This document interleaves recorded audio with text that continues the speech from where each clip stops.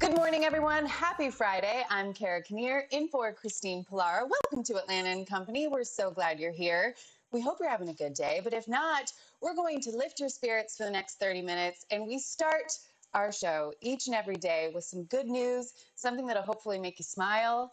And today, you're in for a treat, ladies and gentlemen, because we have the one and only America's favorite weatherman, Chesley McNeil. Hello, my friend. Happy New Year to you. Yeah, Happy New Year to you, Carrie. I, hopefully, I make people smile. How's everything? You do. And I have to say, Ches, real quick before you get to the story, if you're not following following Chesley on Instagram, it's at Chesley McNeil. Please do yourself a favor and do that right now because you posted something yesterday that has been staying with me and it was i believe it was something like um, oh i have relax worrying never solved anything and it's known for being inaccurate. So i leave you with those words my friend to get us started. Oh yeah yeah yeah yeah. My monday so motivation yeah I, you know I, I try to post something uh, positive for people to uh, look up to and and smile you know? That's that's just who i am i guess. That's just who i am. You're the best. Thank You're you so much. Hey, I got some great stories for you today. I mean, these are, and I call these, um, these are like like soup, kids with superpowers. You know, every now and again you meet a young person and they do some extraordinary things and they just make you feel good. I got three of them for you if we can get to all three. Let's start with the first one here. This is a kid out of California. His name is Ahmed, uh, uh, uh, Ahmed Muhammad. That's his name. He's out of California. And uh, he's the first of his family to go to college going to Stanford. So he already got his acceptance mainly because of what he started. Now, because of the pandemic, he had to babysit his nephew and niece. And uh, his nephew one day said he hates science. And Ahmed loves science. He's like me, got kid after my own heart. So he came up with these uh, hands-on experiments for his nephew to do. Did it with his niece as well. They loved it, right? So he got with his teachers, told them the story, and they started putting together these kits to send them all around the, the world for kids to do hands-on science experiments. They call them Kits Cubed. Kits Cubed. And so what he did was he, uh, he started um, uh, boxing up these three hands-on experiments for kids, and now people buy them all around the world. Uh, and, and he's got a nice little partnership.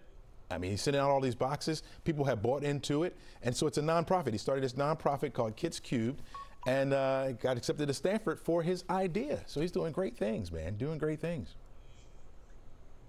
Ches, I so I read about Ahmed too, and I this kid is so accomplished at such a young age. They were like he was point guard on the varsity basketball team. Oh, yeah. He does all these amazing things. He got into Stanford, and then I was like, you know what? I need to get one of those kits for my kids. They're all fifteen dollars, so they're affordable.